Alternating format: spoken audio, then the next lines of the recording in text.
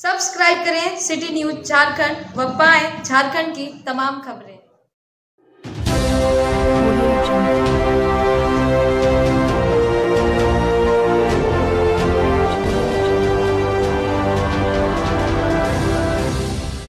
पलामू ज़िले के चैनपुर प्रखंड के नरसिंहपुर पथरा में दशहरा पर्व को लेकर बाज़ार सज धज कर तैयार है। कई मिठाइयाँ तो कहीं खिलौने तो कहीं कपड़े की दुकान पर।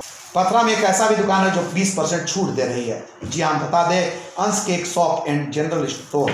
दुकान में दशहरा पर्व को लेकर दुकान संचालक छोटू चौरसिया ने कहा कि दशहरा पर्व को देखते हुए उनके दुकान में 20 परसेंट की छूट ग्राहकों को दी जा रही है। कहा कि हर वैरायटी के केक बच्चों के लिए अलग अलग तरह के खिलौने, हर एक प्रकार के गिफ्ट जनरल स्टोर के सामान उपलब्ध है।